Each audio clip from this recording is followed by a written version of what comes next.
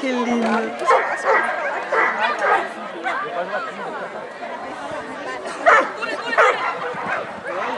bonito levar um cachorro assim que não tem tradição no esporte, né? Uhum.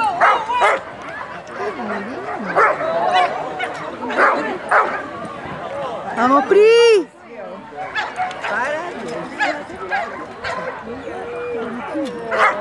Tá baba, né? Vamos, Priscila!